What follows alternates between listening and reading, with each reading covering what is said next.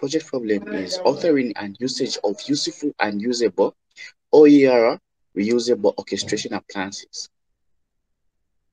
Seeing that Zambia has more than 1,000 learning institutions and over 10,000 educators and more than 400,000 scholars countrywide. This prompted us to find means to connect institutions, educators, and scholars in a way of sharing educational content on an OER. The value and importance of open education resources is to broaden the education sector, which has been evident since the first emergence at UNESCO in 2002. The forum has had an impact on an open courseware for higher education in developing countries. They have made education to be open and accessible to anyone. So we say this project is all about developing an open shareable online repository platform and standalone application for creating OERs. Hence, this will allow lesson materials and other education resources to be uploaded stored, shared, and edited for use and reuse by educators in Zambia. Our project objectives are to design and implement an OER repository aimed at archiving OERs authored by educators in Zambia. Two, to design and implement a scalable OER platform or repository. To design and implement an effective end user interface for creating OER resources.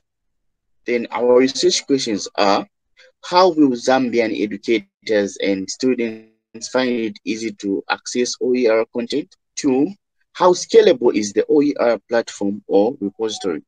The third one is, how effective is the end user interface for creating OER platform? I will therefore end here. My colleague will proceed with um, the related work on the project related work, in 2016, there was a project that was done under the motivation of implementing a reusable virtual orchestration appliance. It was done in order to solve the problem of orchestration of educators' lessons. And as part of the HONORS project, they proposed a solution in the form of a developed open shareable online repository where lesson plans, resources, and tools can be stored and shared. In addition to the development of an online repository to share these various resources, an offline platform was investigated and chosen to convert all presentations and lesson materials to a unified format that allows educators to plan, order, and design personalized lessons in a way that is effective to personalized needs. On the project solutions, we propose a solution in which we would design and implement an open shareable online repository platform and standalone application for creating OERs, where lesson plans, resources, and tools can be stored and shared in Zambia to be specific. We hope to encourage educators to use already existing content as well as create their own content and upload them to be used by other educators and scholars to increase both the efficiency and hopefully in the long term to improve the quality of education to everyone using them. I'll hand over to the next presenter. Thank you, Madam Inuti, for the presentation. My, my name is Jefferson Love, and I'll be presenting on the research methods for this research. Interviews will be used as our data collection technique. Purposive sampling technique will be used, and we'll interview different students and educators from different institutions in Zambia. This study will target a total number of 40 participants, which will include 20 educators and 20 students from different institutions that will be interviewed in Zambia. The data will be collected. The data will be collected in qualitative form. It will be analyzed using a tool known as Kobo Toolbox. Next slide. These research methods will enable us evaluate the system by using software engineering metrics, of which the project level, standalone application, and the repository outcome will be measured. User-oriented Performance-based and requirement-based evaluation will be implemented during the development of the, of the system. Thus, using metrics like learnability, recovery from error, easy of use, and performance expectation will evaluate the system using feedback on the system from educators. Aim of the project being to, eva to, to alleviate educators' workload and provide increased efficiency in the lesson planning through providing them with a single platform, platform from which lessons can be constructed and conducted in conjunction with an online system that promotes sharing and reuse of pre-existing lesson plans. The best means of evaluation is through testing the proposed software. Good afternoon, everyone. I'm Matthews. So for me, I'm going to talk about project management. Project management is, a, uh, is an, an essential component of software engineering project.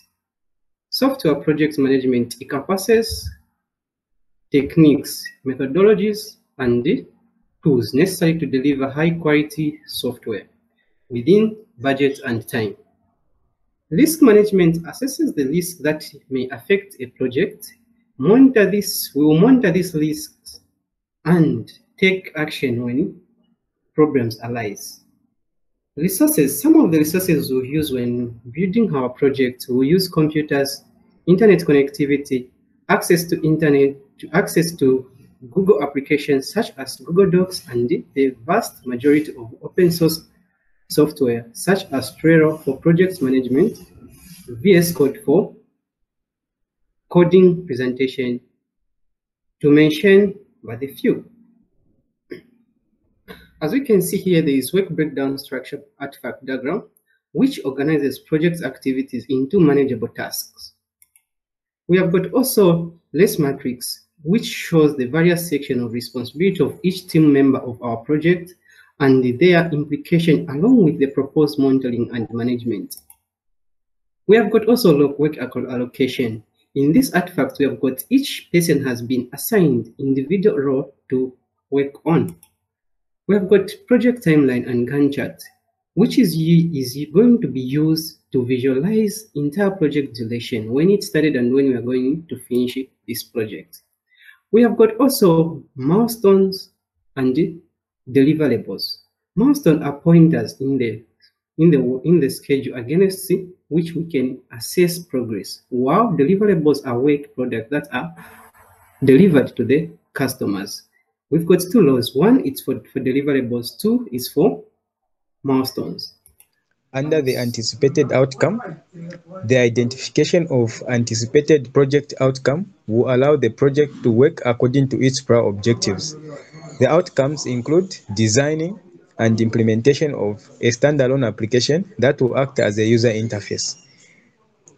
Uh, the other one, uh, designing and implementation challenges, project impact, and project success factors. The next slides will depict the interaction between the system and uh, user and other systems. Number one, context diagram, fundamentally used to define the scope of the system. Two, use case diagram. Uh, the use case diagram captures the functional requirements of the system. Three, UML class diagram, graphical representation of classes associated with the system. Sequence diagram, a typical or a type of interaction model that models a single scenario executing in a system. We have two artifacts. The first one uh, depicts the user interface where the user is able to log in, view con uh, content, and upload. Second one, the second one shows the uh, searched content and the and the privileges of a user to upload and view content. Under the ethical considerations, ethical issues need to be anticipated and dealt with by any researcher. Therefore, this project proposal took into consideration possible and potential ethical issues.